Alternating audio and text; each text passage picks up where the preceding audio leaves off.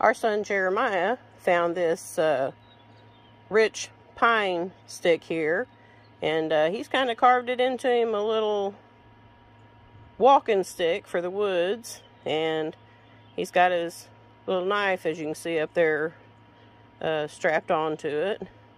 So it's with him at all times and he can flip it over and use it as a uh, a shooting stick or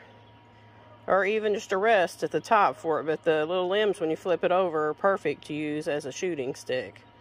I thought it was really awesome he does a good job at stuff like this he made me a little bench uh, for out by my uh, bird sanctuary one time, and it's pretty awesome. And